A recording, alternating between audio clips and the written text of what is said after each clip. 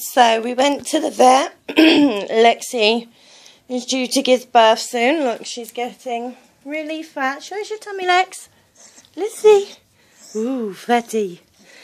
We've just finished building her whelping box. Whelping box, little litter thing. So Lulu.